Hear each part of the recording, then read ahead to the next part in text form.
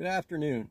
Uh, today I come to you uh, with some thoughts on my mind to share. It's not exactly where I wanted to go with this channel, but I think I'm going to have to live up to my moniker here a bit. I'm coming to you today with a bit of a chip on my shoulder that's kind of been building up and getting bolder. Behind me, if you'll take a look and see, I'm at a old state owned shooting range that was within just walking distance of me.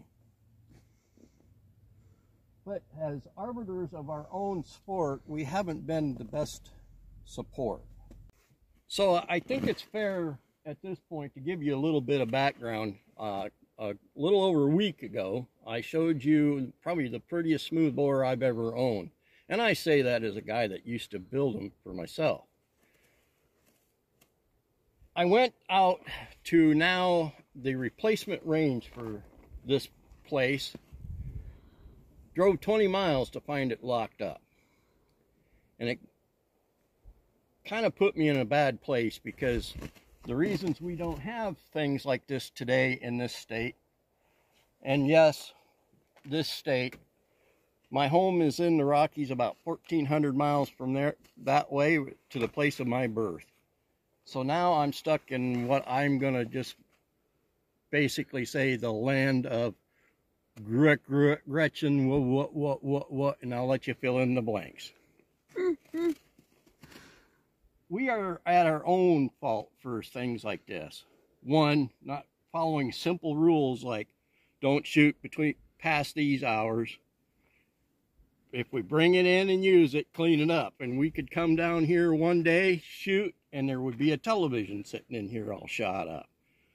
Clean that up, a couple days later, there'd be pallets and stuff. We have got to start holding ourselves accountable.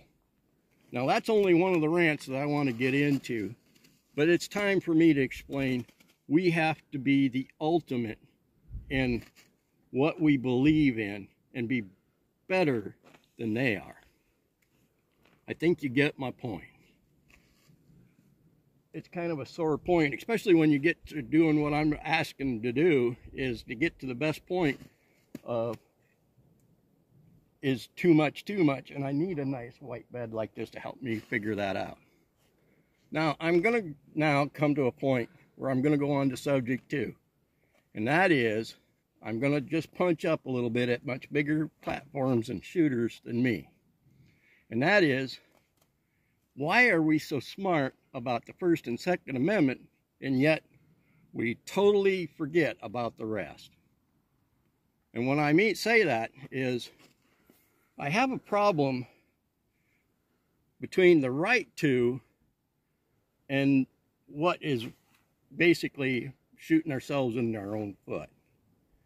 Now, I'm a big fan of the Second Amendment and I'll fight for your right to do it no matter what it is. But there comes a point where we should just shut up. Case in point, let's take the fart and remove the A and figure out that that's what it does. It doesn't do anything special other than have a little extra oomph.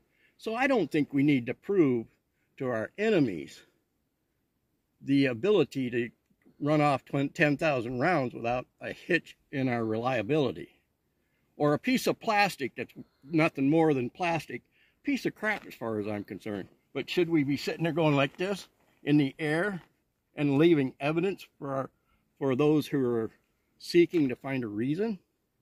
There comes a point where we're responsible for our own accountability. And just because we can say it doesn't necessarily mean we should. If you disagree with me, why don't we all get together get drunk, go to the same alcoholic check-in point, and all together in unison say, you want me to do what? Well, hell, I can't do that even when I'm sober.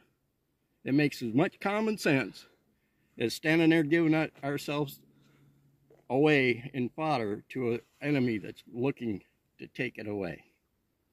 So, with that in mind, I'm going to live up to it, say, and remind you. So if you came in here with your sleeve, feelings on your sleeve, looking to get butt hurt, you may have come to the right place. I'm Gawa.